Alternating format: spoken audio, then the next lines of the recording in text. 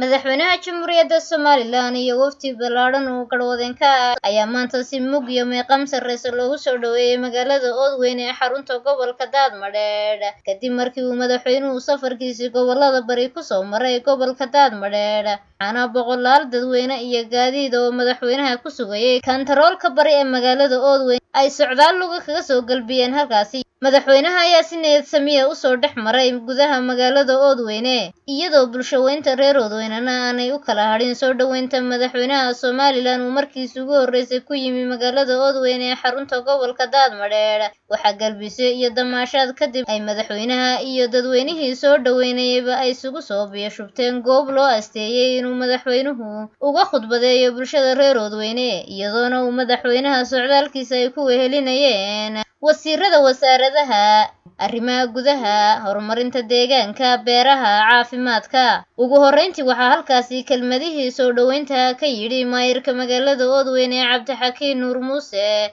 badhasaabka gobolka daadmadheedh axmed diiriye cabdilaahi iyo xubno ka mid ah cuqaasha gobolka daadmadheedh geesta kale waxaa iyaduna halkaasi ka hadashay wasiirka wasaaradda horumarinta deegaanka marwe shukri ismaaciil madaxweyne waxaan kaaga mahadnaqaynaa safarka ballaadhan aad ugu soo kici jirtay gobollada bariga oo ay maantana gobolka aad joogto mudane madaxweyne waxaa markhaati madoona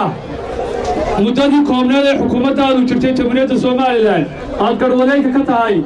in laga fuliyo gobolka mashaariic aad iyo aad u tiro badan. Oo ay ka mid tahay waa markii koowaad oo saddex ceelbiyood laga qodayo gobolka daadmadheedh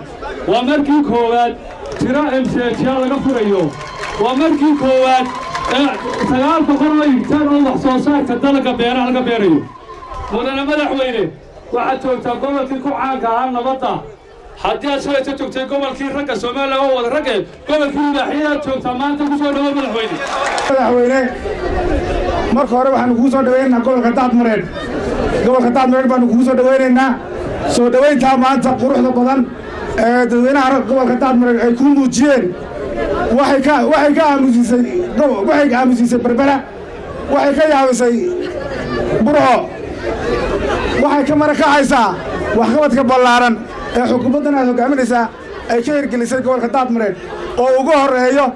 riigii oo aad maanta riigii biyaha gobolka daadmareed oo aad maanta noo dhagax dhigi doonto mudane madaxweyne waxaa kaloo gobolka daadmareed mudane madaxweyne aan kaaga mahadnaqaynaa masaariicda xagga beeraha ee wasiirka wasaaradda horumarinta beeraha sagaalka boqol iyo kontonka higtar oo ah mashruucii labaad oo ugu ballaarnaa ee laga hirgeliyo gobolka daadmareed adiga iyo xukuumadda aad hogaaminaysa madaxweyne aad iyo aad baanu kuu soo waana kaga mahadnaqaynaa wax ka warqaaga maylaawaana adigoo safarkii ugu horreeyey ee aad ugu soo baxday gobollada bari inay oodweyne meel kaaga yaallo ama gobolka daadmadheedh waxaa caddaynaysaa inaad safarkii ugu horreeyey ee gobollada bari aad ugu soo baxday biyorati aad siisay oo tidhi ilaa gobolka daadmadheedh aan tago fadhiisan maayo madaxweyne aad iyo aad baanu kaaga mahadnaqaynaa.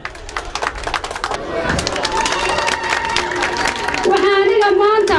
iyo idinkaba farxad inoo ah in wafdi ballaaran inoo yimi madaxweynuhu hogaaminayo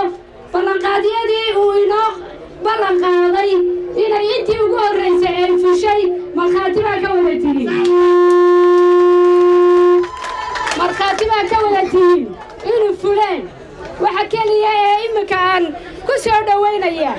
idinkoo mahad celinaya anigoo mahad celinaya. Madaxweynaha jamhuuriyadda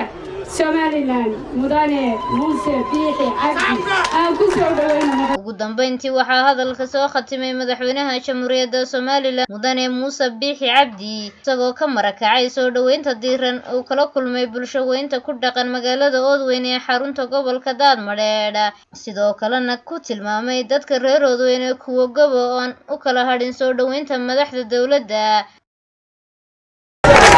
Raxmaan raxiim waa wakti kulul eedaankiina wuu joogaa waa la eedaamay salaadiga joogta. marka dalka koobaad waxaan aad iyo aad ka mahadnaqayaa soo dhoweynta tii maanta oo adduunya aad iyo aad xamaasadda iyo ballaadhida iyo sidaa loo soo qabanqaabiyey ay ka muuqato kalaamadii madaxweyne ee qarankiina uu qaranka ayaa la soo dhaweynaya madaxweynuhu waa qof laakiin wuxuu weeyahay qarannimadii marka inaad sana u garateen oo maanta aada iyo aada uga sii kordhiseen tobaad ka mahadnaqaya soo dhaweyne hore fara badan oo roog caskarka laga dhigay oo casuumado badan lahaa oo aada iyo aad lay soo dhaweyn waa ka mahadnaqaya reerood weyne mar aaranimid oo aanan si gobannimo leh iyo sharaf leh loo soo dhaweeyin ma ay jirin waxaanay kutusaysaa inay yihiin dad goba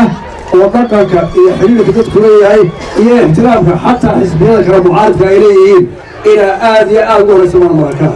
waxaa jira qaar aan intaa gelinayo kolba xisbigeeduma jiraan ku jidooda walaalayaal doorashooyinkii waxay noo keeneen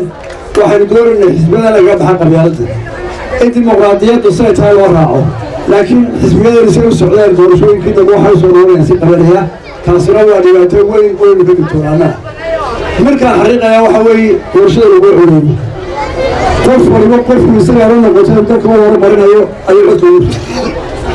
ma aha markaa inay noqoto qofkaasi wax u codeeya xisbi kale oo cod baan lahay. Taasi waa xaaraan. Caqliyan bay xaaraan ku tahay. Waxaynu sunahay bay xaaraan ku tahay. Dimuqraadiyaday xaaraan ku tahay. Laakiin waa ra'yi qalada oo dad badan qaatay qof waliba iyo deegaan waliba dad buu u codeeyey maraykanka aragteen gobolladu way kala calaamadsan yihiin. Mid dimuqraadigaana midna republicanka ah. Waa dadku say u kala doortaan baadeeda wada la yaab ma laha haddii gobollada degmooyinkoodna xisbada qaar kala bataan maaha in lagu colaadiyo xisbigaa cod kama helin iyo kaasaa kama helin dood weyne awood weyne waa dadkaygii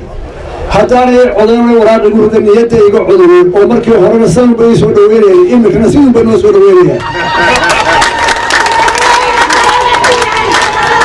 mari inagoo tartarayno foodku socdaabaa sida iyo si ka sharaf badan noo soo dhaweynaysa waayo waxaa ka weyn codkaanu bixinaya waxay dadku isu iyo midnimadeeda ayaa ka weyn maalmo siyaasada kaambeen la isu qaado ood weyne waxay ka mid tahay somalilan meelaha xusuusaha badan ee somalilan dhan ixtiraamka u hayso. Hadday halgan tahay hadday ku hore tahay oo ah ka isticmaalka hadday kiyasanan tahay hadday daldhiska tahay dhallinyarada reer daad mareen iyo tawyar qaadkii qaarkood ee da'ya siyaasodejinada ka yar waxaa idiin sheegaya ilmaran fikrada lagu beera ee ah cid baa iska kiika waxhaysatay iyo cid baa idin necab. Qalbiga somaliland baa tihi wadnaha somaliland baa tihi nin walbana saa sooyahay yaanu dhece ra'yiga nacabka ayaa isgelin somaliland way ku faanta haddaad mareebaa joogtada dhinac walba iyo togdheerba laakiin baryahan dambe facebookyada wax laga hogaamiyo. Waxaa loo geliyaa codaar reeta dheerow rag baa inoo tashaday wax laynooma ogola waa laysa keen bahaystay ninka daad bariska bahaystay ka taga xaggee u tegayaa xaggee u istaagayaa marka hore yaa u garab noqonaya yaa u gaashaan noqonaya macaqli baanu ahayn dadaan wax garad ahayn oo dadku isu yahaan gareen baa waxaa ku hadla mashaariicda ka hadasheen dowbay ahaa sannadkii horreeye weeyi dalka markii aanu eegnay waxaanu u eegnaa baahi waliba halkee u taala markii aanu biyaha eegnay wixii biyaha lagu qoontanay miisaanadii nagu horisay golaha wasiirada la soo dhigaa dad badan baa ka sheega looma eega marka eegba looma eega mahel baa laga soo leega looma eega xageeba ah waxa la yidhi dad halkeebaa biyaha maanta magaalo ka daran laba magaalo dalka saddex magaalo dalka uga haraaboon mid waa taa caawar joogno midna waa laascaanood midna waa hargeysa waa caasimada saddexdaa magaalo uumihi waanu